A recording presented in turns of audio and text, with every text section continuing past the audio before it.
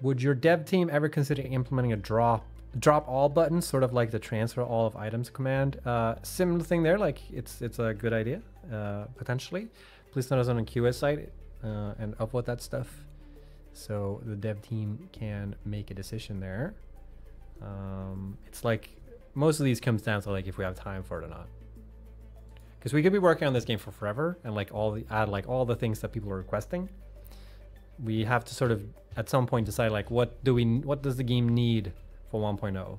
Like do we need a drop all button for satisfactory to be a 1.0? Like does that a feature that is necessary for the game to be considered finished, you know? maybe not. Or maybe it is. Or maybe we'll have time for it anyways, even if it's not a, like it's hard to say.